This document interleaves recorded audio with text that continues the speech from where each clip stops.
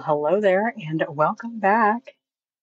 It's Bookcast Day. I can't tell you the joy it brings me to actually have something to do when I get up on Saturdays. It is a tiny bit annoying because I would love to have a Saturday free, but this is the day that works best to record, and so this is what we do. I am running very late today. I'm in the I'm in the struggle sedan. It's not quite a bus.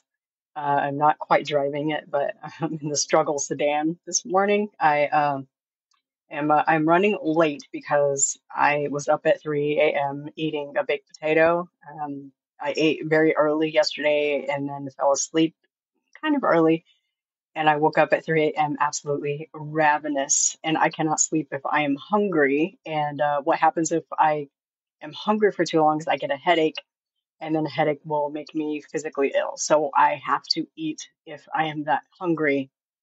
I think it's a blood sugar thing uh, if if it drops too low, I get a headache, and then that it's just it's a domino effect. So I got up to warm up the baked potato that I had left over from dinner, and my roommate was still awake for some interesting reason, and she's a talker, so you know how that goes. Like a half hour later, I'm headed back upstairs to my room to eat my baked potato and watch American Dad, and then pass out. And I woke up at 9:30, which is I'm usually like halfway through my recording at 9:30, but it's fine. It's fine. It's fine.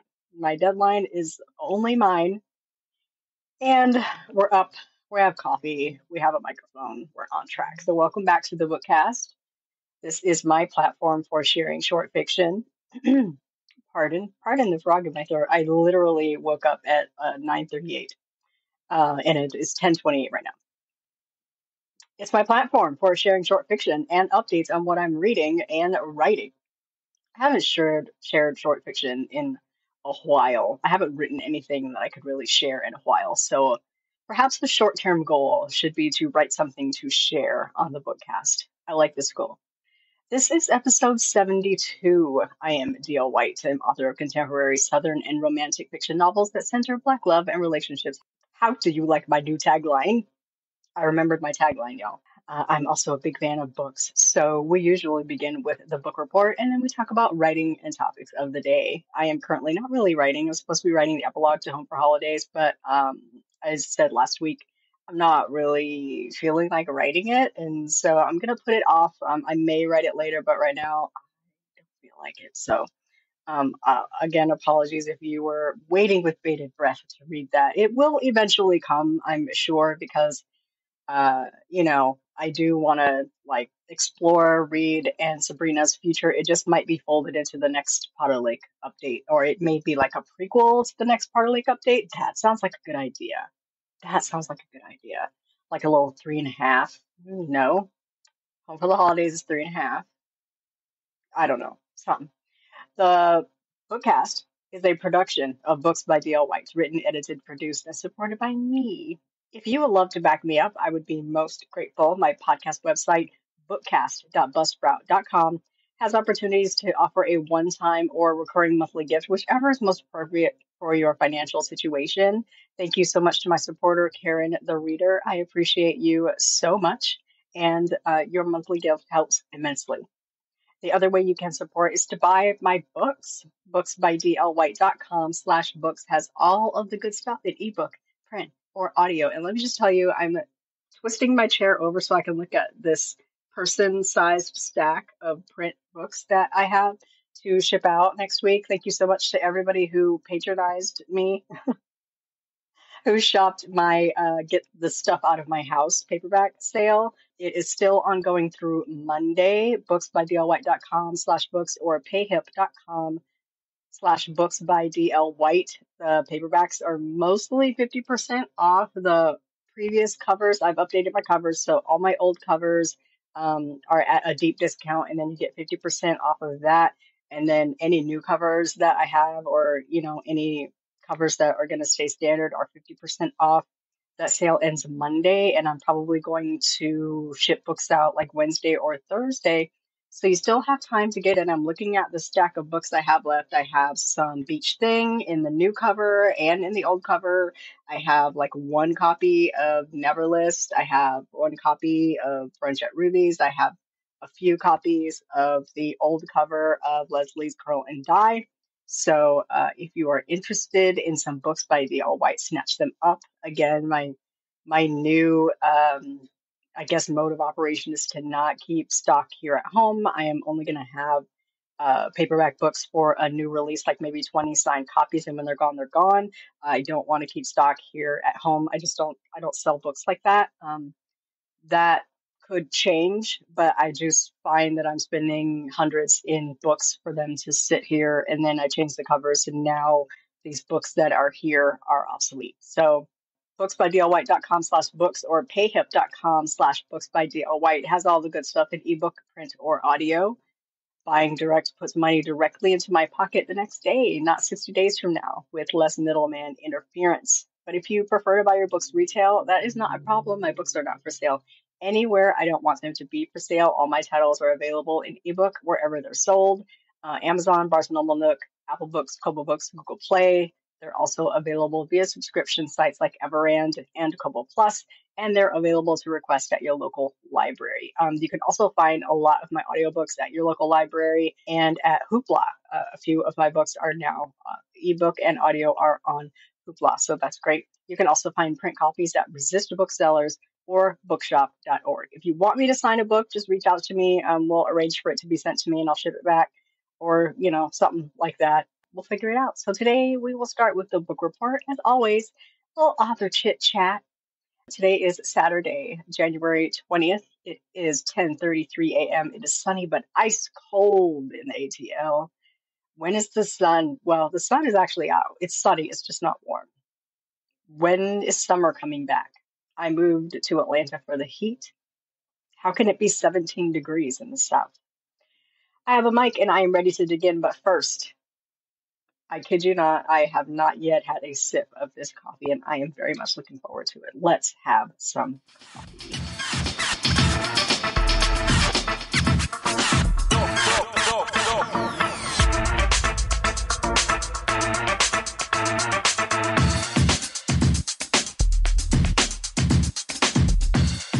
All right, all right, all right. Oh, that is good. That is good. The coffee is good today. We begin, as always, with the book report because I am a bookhead. If I'm going to do anything, I'm going to read a book. New year, new challenge. I have read seven books of my challenge to read 150 books this year. I am on track to hit my Goodreads goal challenge. Can't stop, won't stop. Um, I do not think I will have any issues hitting that goal because I am ripping through these books.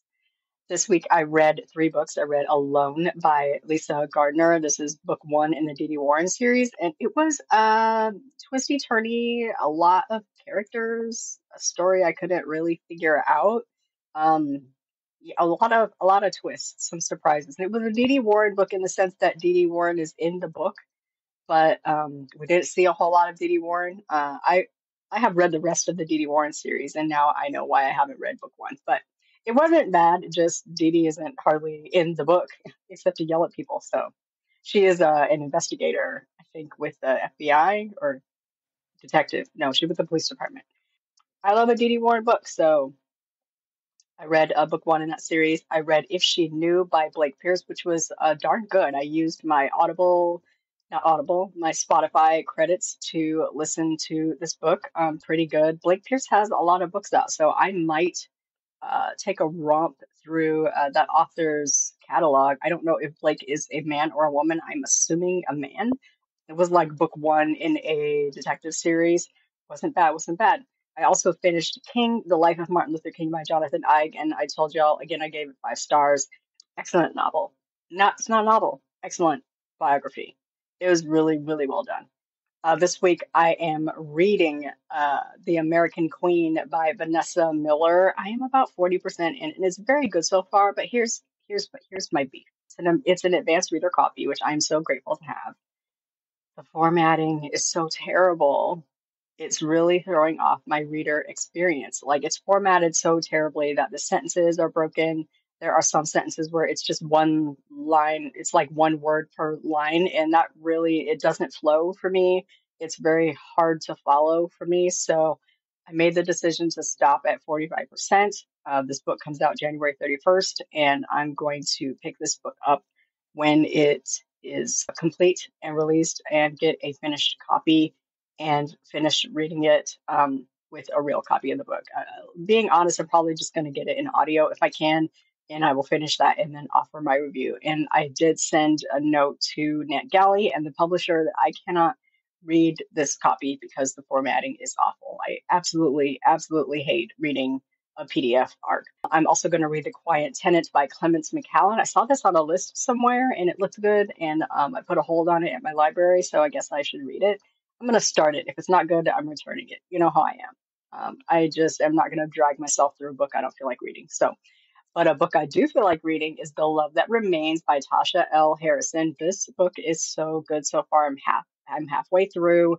It is um, a book about a widow, and it just it dives so uh, deeply and passionately and emotionally about dealing with her grief. And her husband sends her on a trip for their tenth wedding anniversary, and um, you can just like feel the just the love that he had for her you know, y'all know I'm a big Tasha L. Harrison fan. Her writing is just so decadent and like she just digs so deep the way that I wish that I could. I'm just I'm not a deep person and I'm always reading her books like I ain't never gonna be this good. Like between Tasha and Kennedy Ryan, I don't know how I still write books because like I just read books and I'm like I am not this good. so I'm really enjoying it. I'll probably finish it today. And then um, I found like a stack of thriller novels that I want to dig into. I want to get real deep into my thriller bag this week because um, after that, I need to like scoot on back to romance and uh, get in the mood to write uh, Black Diamond book number three. This week I put down Mrs. Soul Crusher by Jessica Terry, and I know she listens to the podcast and I want her to know this is not a bad book at all. I think I'm at like 30%. Um, with the work week, I fell out of sync reading it, and I just could not jump back into it. And um, I wanted to be fair and give it my attention. I will. Uh, I'll jump back into it. I'll finish it at some point. Probably when I roll back to romance, this will be on my list to finish. I just could not uh, could not get back into it. I'm very much a mood reader, mood reader, and books. New books are so shiny. Moving on to our writing update, which isn't a writing update. I said last week I was not planning to jump right into a home for the holidays epilogue, um, and my my mind is slowly turning toward my next book, which I need to start writing by at least early February in order to finish by the spring and release in summer. The editor that I have been using is uh, she posted her uh, annual wrap up um, of books that she edited, and there was quite a stack of books. So she'd be busy. So uh, I want to be sure to book her time and give her sufficient time to give um, my babies the attention they deserve. So I don't want to rush like I did with Home for the Holidays. I did not plan to write that book. It just popped up in my mind, and I was like, hey, if I write a holiday short and I get it to you on this date, and you charge me a rush rush fee, how would that work? She has been ever so gracious in squeezing me into her schedule. So um, I'm very, very excited to get something to her in the spring so it can be released in the summer. You know, I have a couple shorts ideas I want to bang out. And I just said earlier, I would love to write something short just for the podcast and like, you know, just something short I could put out there.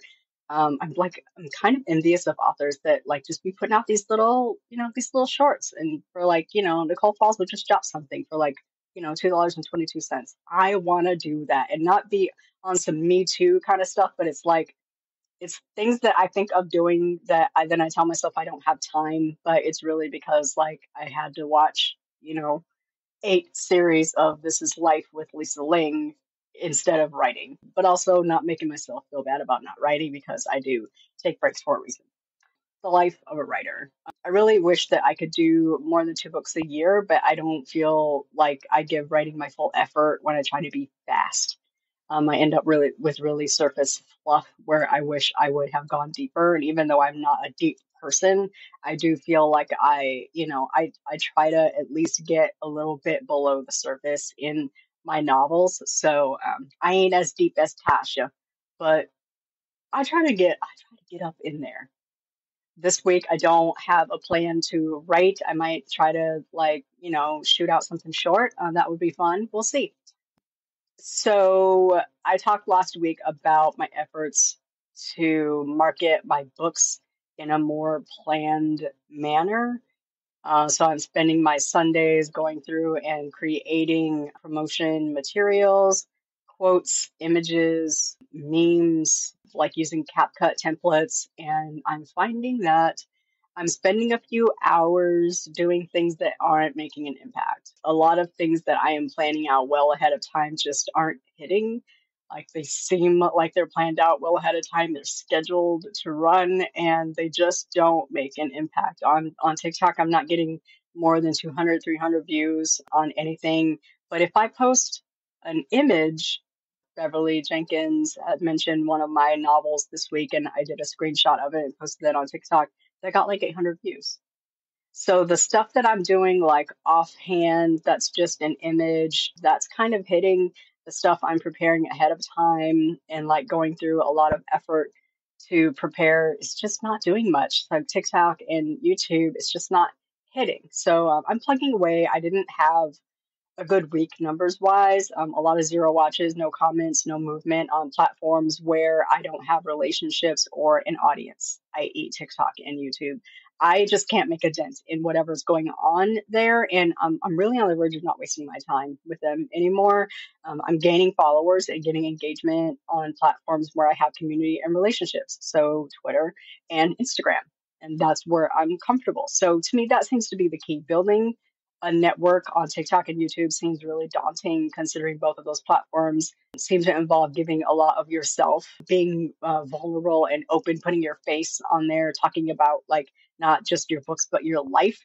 And uh, that's not a place like those aren't just places I want to do that. Like I do share parts of my life on um, Instagram, like in my stories and occasionally on my feed, mostly in my stories with people that like engage with that. Um, so I just, uh, you know, I just, I like, and I don't, I don't want to duplicate what I'm doing on TikTok with what I'm doing on Instagram.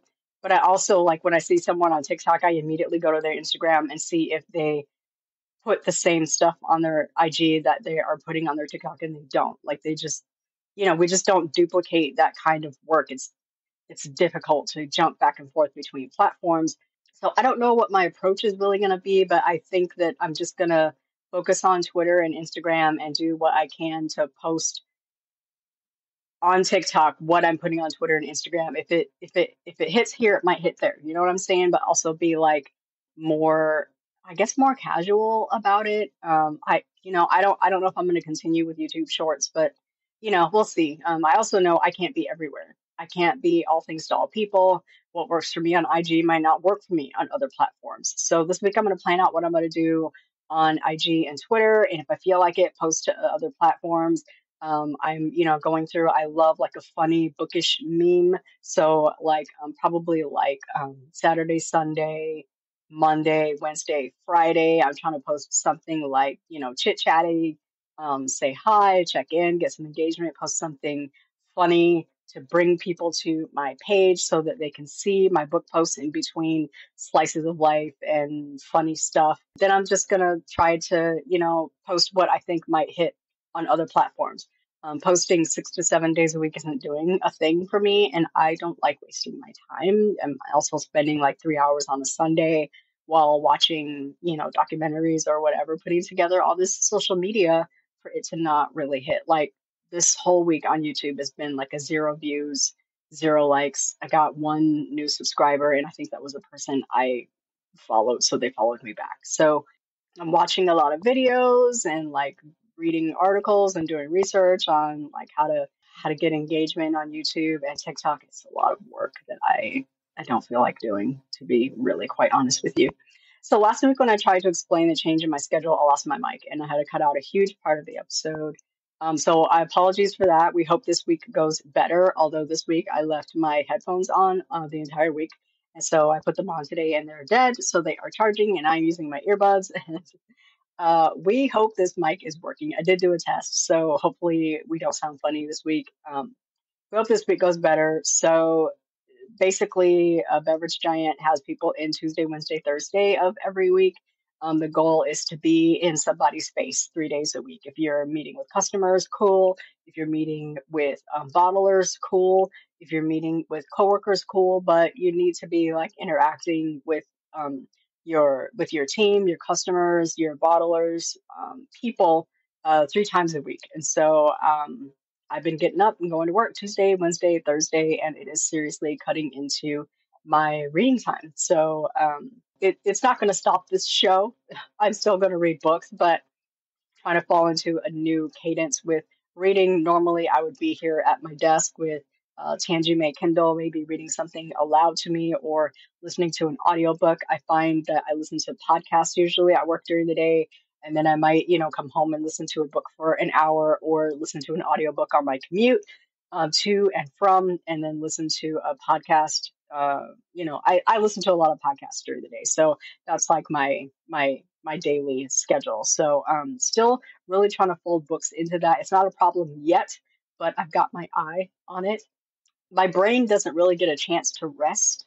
You know, when I get home um, and I, I lose, I've, I've lost time to do random personal tasks that I could do like during the day. Like if I have a lull in my schedule, I can't like get up and throw some laundry in. I can't, you know, do a grocery order and put groceries away. Um, in between meetings or whatever. So it's it's it's interesting. It's it's definitely throwing a wrench into uh, my work schedule. But you know, we'll we'll we're gonna see how first quarter goes, and maybe in second quarter we'll be able to back off a day. Um, I would love to do like Monday, Tuesday at home, Wednesday, Thursday in the office, and then Friday at home. You know, we'll we'll see if we can if we can back off a day. It is almost tax season. Tax. How did why, why did I say that so funny? It's almost tax season so IG got me, y'all. I downloaded this app called Keeper, and I, this is not an affiliate ad, um, but it analyzes your accounts and it pulls out your potential write offs. And I needed that because if I could tell y'all the process that I go through every year to identify my expenses for my CPA so she can file my taxes, uh, is painful. And so I really needed that. This has made it so much easier. And um, every transaction that I make, it asks me, is this a write off? You spent this much at blah store. Is this a write off? Is that a write off? And so now I can mark it. Um, yes, it's a write off. No, it's not. And so it will make it that much easier to turn my taxes into my CPA. Um, so I'm only waiting on like W 2s and my um, W 9 forms from all the platforms where I publish my books, um, all my tax forms from like my HSA, um, um, health insurance, um, all that good stuff. So um, I could be ready to file my taxes like eons earlier than normal. So my CPA is going to be so proud of me. I'm very excited. So um, today's plans: reading, reading, reading. I just want to read. Um, maybe folding laundry. I mean, I don't want to be too ambitious um, but I may fold some laundry. I'm reading a lot of thrillers and historical fiction. I want to get it out of my system before I leap back into romance. I'm also pulling out my notes on the Pearl at Black Diamond. I need to like pull what I have into Dabble Writer, which is the app that I use to write my books. Um, so I can start thinking about what changes I want to make to Davis Scott as a character before he meets his heroine. Kari Savoy. I'm kind of excited about this one. I did start it. I have about eight chapters as as usual before I hit a wall and um, put a book away. I usually get about six to eight chapters before I have to put it away, and then I need to think about it. And so hopefully, uh, the the time away. It's been a few years since I tried to write the Pearl. I feel like I tried to write it I tried to write it right after I published Beach Thing in 2016, and then I feel like in 2020 maybe I tried to. I distinctly remember talking with the word makers about trying to write the Pearl, like maybe 2021, and it just just didn't work. And um, in in previous iterations of this novel, Davis was on the autism spectrum, and um, I decided that I just did not want to write him that way because I did not want to fight with autism mamas. And like now making edits to how Davis thinks and acts um, is going to be paramount. He's still a little persnickety in his real life, um, but I don't, you know, like like how do you write autism? You know, it's a spectrum. So some are high functioning, and you know, some have very you know different mannerisms and behaviors and um, patterns of thought and behavior and um, I don't want to get stereotypical, and I, you know, I, uh, I honestly don't, I don't want to fight with autism mamas. So, um, backing away from that as um, a part of Davis, but he is a little bit, um, he's, Davis is, um, he's a runner. He's running. He's definitely running. So, um, Kari is a very um, open person. This is going to be a workplace romance. And so there's going to be a built-in conflict there that I'm excited to get to. So, you know, we'll see. We'll see how it goes once I dig into it. But I do need to pull it out and get it into Dabble and um, figure out which direction I'm going in so I can get started on on that book. Um, Writer Life. This popped up uh, actually a few days ago and then resurfaced last night while I was surfing TikTok. There was an author. Um, I don't know her name, but she is a Latin fantasy author. I'll probably have to dig it up and reference it in the show notes. She recently took a reader to task for coming to her author page on TikTok to express that she did not enjoy her latest novel. It happens, you know, it happens. But this reader was actually quite quite rude in expressing her opinion on the novel. And you know where you can be rude about a novel um, in a review space? Um, your own social media page, your story graph, your Google, not Google, your uh, Goodreads, any retail site. I mean, anywhere you be talking about books is your reviewer space. That's where you can be rude about not liking a book. You may not tag the author in your rudeness because it's none of our business. Reviews are for readers.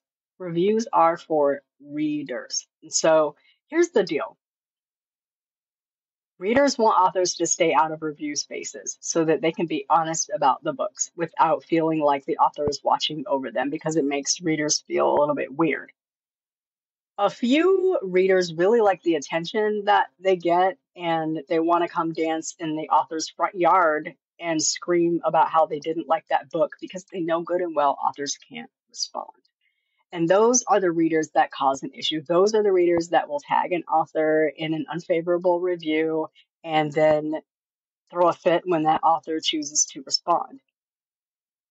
If readers want authors to stay out of review spaces, then authors have to have a space where readers don't come to express their opinion. That's my page, my Twitter page, my Instagram page, my TikTok page, my author website. That's not where you come to express your opinion on a book. Reviews are for readers. If reviews are for readers, then express your opinion to readers. Like this author said, I have already read the book several times. And I like the book. Otherwise, it wouldn't be out. I am not your audience. So if readers think that by offering an unfavorable opinion that you're quote teaching end quote the author something that your opinion somehow changes something about the book or um like I think I think that a lot of readers feel like um authors seek out reader opinion to improve on their work. And I think maybe in the past that used to be true, but it isn't really. Like, I don't seek out random opinions on my book. If you say, Hey, I'm reading your book, I'm going to say, That's fantastic. I hope you love it. I am never going to ask you how you liked it. Never.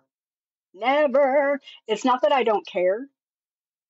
And it's not that I don't hear how you liked it. Like by this point, I'm not really precious about my books. If you didn't enjoy my books, awesome that's cool. Thanks for reading it. I mean, I, already have your money. So, not to be crass about it. And it's not that I don't care about opinions, but my writing process does not involve the random opinions of readers who gobbled down something I spent three, six, nine, 18 months, four years writing. You gobbled that down in two hours, four hours, six hours, I don't know, a week or so um, and distilled your opinion about the book into seven harsh, crass opinions about my books. That's not what I base my writing around. Y'all gonna get these books. You might like them, you might not. Like, I don't know, but I don't base my writing around the opinions of like unsolicited opinions of readers. I have an editor, I have betas, I have advanced copy, uh, uh, you know, advanced reader opinions. Those are the ones that I'm going to solicit. And when I put a book out, I already know probably what I'm going to hear from readers. They're not going to like this. They are going to like this. They're probably going to have an issue with that. And I know that. So I don't go seeking out reviews looking for that kind of feedback because I already have it. So if you are coming to me to my face to express that you don't like my books, it's kind of falling on deaf ears. And I'm not your audience for that. I am not the audience for that. And my page is not the place for that. That is my page to talk about my work, my books, to market my books, to put my books in the best light, and to give readers the chance to explore them. Your pa- place to express your opinion about those books is your review spaces. You can't turn every space into a review space. I have to have a space for me and mine, me and my stuff. And my space is not the place to put those opinions. I hope readers don't get their knickers in a bunch over this. It's not like, you know, it's not like I'm going to be rude if someone comes to my page to say, hey, I hated your book. It was trash. It was terribly written. It was riddled with errors. It didn't make any sense. And I hate these people. I mean, okay. It's just ineffective. I'm not the audience for that. You needed to go to your reviews and say, I hated this book. It was trash. It was riddled with errors. These people are stupid and this author can't write. I have already read the book. So I am, I'm just, can I say it uh, like another time? I am not the audience for that. You want to be talking to readers. Now, if your goal was to hurt my feelings, if your goal was to come at me like I'm some kind of robot and not a human and not a real person, well, you've accomplished that. You have accomplished that. And so, if that was your goal, you hit the mark. If that wasn't your goal, my page is not the place for that. And I'll tell you, you don't honestly have to tell me anything about your feelings about my book. I'm never going to ask. If you t- again, if you tell me you're reading my book, I'm going to say that's awesome. I hope you love it. I am never going to ask how you liked it unless you invite me to ask how you liked it. You don't have to share any opinions with me about my books, good or bad. Do I love a good review? Yes. They still make me kind of nervous? Yes. I don't read any of them. Five star, um, four star, three star. I don't read any of them because even the good reviews give me heartburn and anxiety. Do I welcome them? Sure. You can tell me you like my books. I love it. It means so much to me. It, deep in my heart because I don't read reviews. I like hearing that from readers that they like my books. It does tell me that I'm doing what I set out to do. If I hear enough of that, it does give me that feedback. Um, taking in a negative opinion, I have to be ready for that. I have to be like guarded for that. And for the most part, when I'm on my page, I'm unguarded. I'm I'm open. I am supple, as it were. And I am not ready for somebody to come at me with a battering ram of opinion. Feel any way you want to about my book in any space except mine. You can be in your house and feel how you want about them. You cannot come to my house and shout your opinion through my mail slot. You can't come stand outside my window and scream at me your opinion about the book. And that's what it's like when you come to my page, to my space, in you know, in in my orbit, and shout your opinion about it. That's my little rant for today. It's not that reviews don't mean anything to me; they mean a great deal to me because your good reviews and even your bad reviews, quite honestly, bring people to my books. So next week, I want to chat about when y'all clap back at people who ask about books and whether it's doing what you think it's doing. But that's for another chat. My earbuds are dying and she's screaming at me to please charge. So I'm going to bring us to a close. That brings us to the end of today's episode. Thank you so much for joining me for today's chat. I'll be back next week with a reading and a writing update. Please enjoy this weekend. Have a superlative week, and we'll chat again next weekend.